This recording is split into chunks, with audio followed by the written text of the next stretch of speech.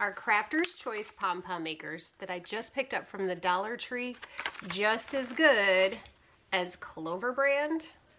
We're about to find out. Okay, not gonna lie to you. When I saw these in the Dollar Tree, I was super excited.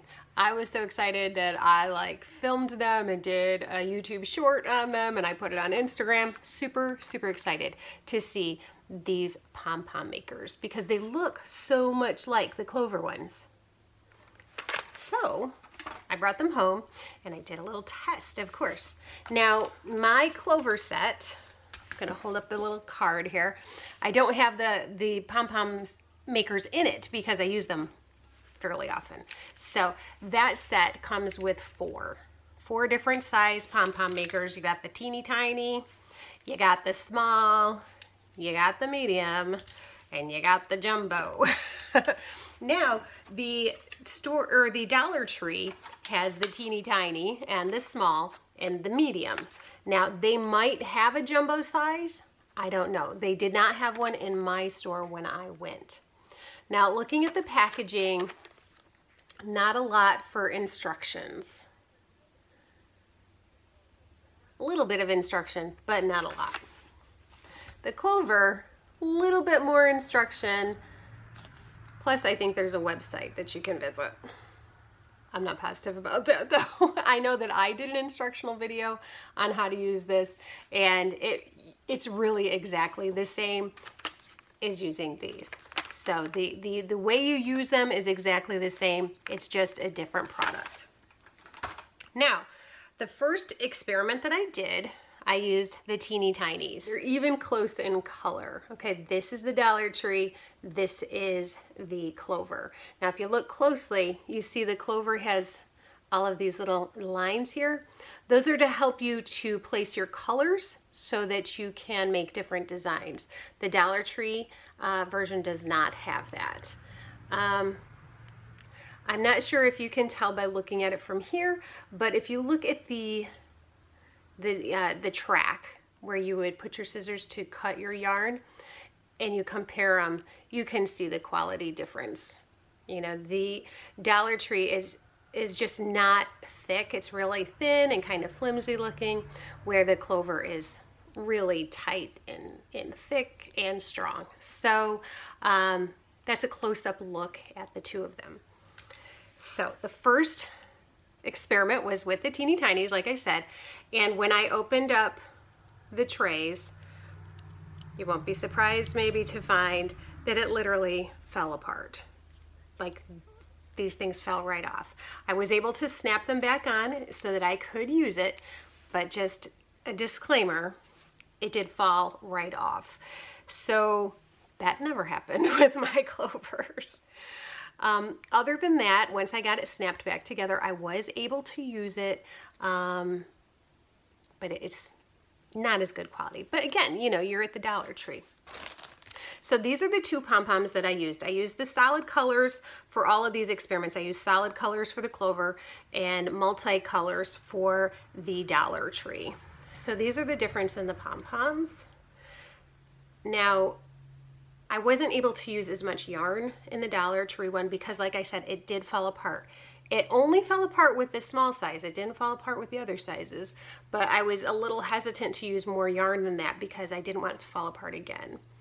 Um, so this is the clover one, nice and thick, no lines uh, showing where, you know, your yarn is all gathered. Now in the Dollar Tree one, the Dollar Tree one, you can definitely see where the yarn that gathers it is. It's right there. And no matter how much I kind of try to fluff it, you can still you can still see where it is. It's just not as thick. It's not as it's not as pretty. okay, so moving on, I did use um, the other sizes and actually I didn't have any problems with the Dollar Tree ones at all. Just the just that uh, really teeny tiny one did I have problems with. So you might be able to see a little bit of more fluff with, with the clovers, but not too bad. Okay, so I did think that I would demonstrate um, how to use these just so you can kind of see the difference in them.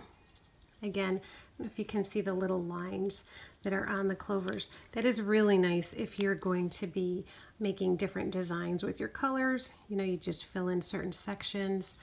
Um, and it's, it's just nice and kind of tight as it closes. Where with the Dollar Tree one, it's just, first of all, there's no lines.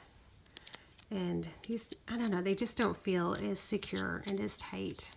But we're going to go ahead and use the same yarn with each of them and see what we think.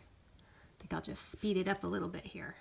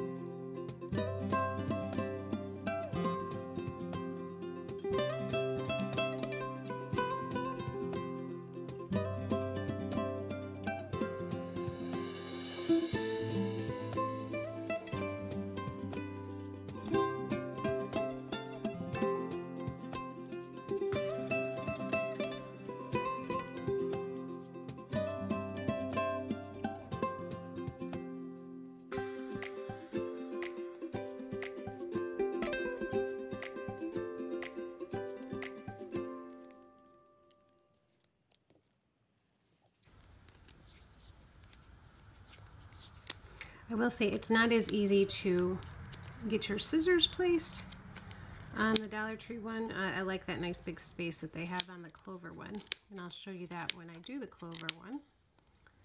But other than that, it's pretty easy to cut along the track. Yeah, see it lifts it up when I put my scissors in there. And you really do want it to kind of stay secure and in place. You don't want it like flopping around on you. And we're going to just run our yarn in here. Tie it off, or cut it off, excuse me, and then we're going to tie it off. I always snug it right down tight and then flip it over and then kind of double it on the other side. That's just how I do it.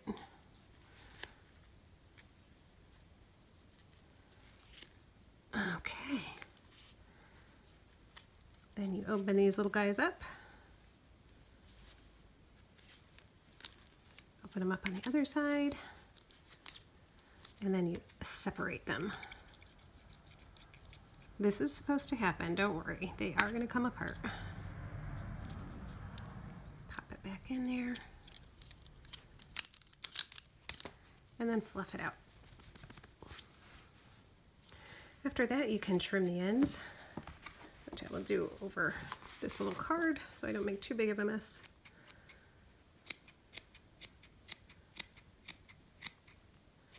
Just to tidy up a bit. But otherwise, yeah, it looks like a decent looking pom-pom. And this is the Dollar Tree pom-pom. So we'll set that one aside. And now we'll go ahead and do the clover. I don't think I'm going to have enough yarn here, so I am going to grab a different color. It will be the exact same kind of yarn, though. It's They're all, uh, all almost all the yarn that I use is um, Big Twist by Joann, so I'm just going to go grab some of that.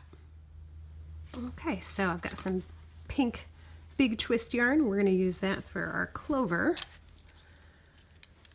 example. So, just so much heavier duty plastic, really makes a big difference. And the construction's just better. They don't fall off.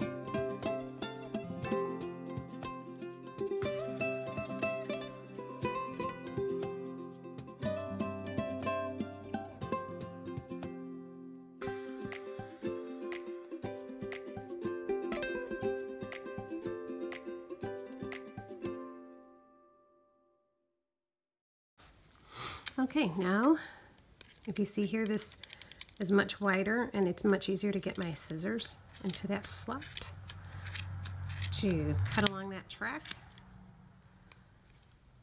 So that is nice.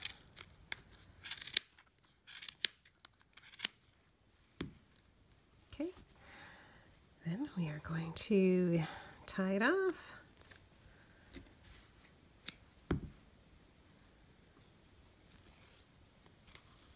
Snug it right down. Flip it over.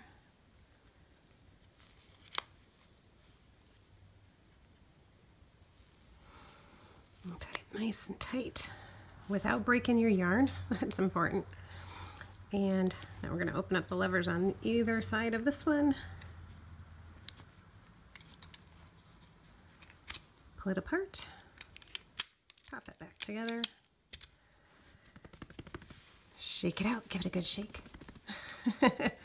Trim off some of those long ends.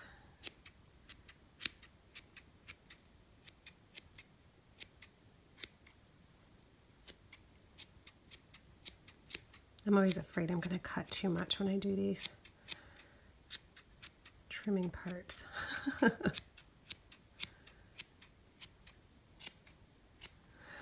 okay, so let's take a side-by-side -side look. Not too much difference. I think they both do the job. They both do a good job.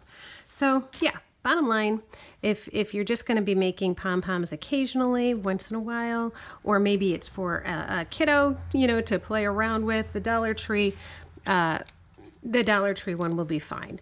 It will, it will do the job for you. However, if you want one that's going to last and be much more enjoyable to use, I do recommend the Clovers. They are a bit pricier, but usually high quality stuff is more expensive than going to the Dollar Tree. I guess the bottom line in these two different products is uh, you just kind of have to determine how much you're going to use it. I use my clovers quite a bit and I know they're going to last forever. Um, so it, it makes sense that I would spend a little bit more money on it. If you're just doing a quick project, um, like you're just making a couple little hats um, for gifts and you're probably not going to make pom-poms very much, the Dollar Tree ones will probably get you what you need. They're not going to last forever. They may fall apart while you're using them, but they do snap back together. Um, they are going to do the job. It's not going to be as fun to use them though. If you'd like to learn more about making pom-poms and pom-pom makers and what you can do with pom-poms after you've made them, join us at the Chicklet Clubhouse on Wednesday night and we're going to talk all about it.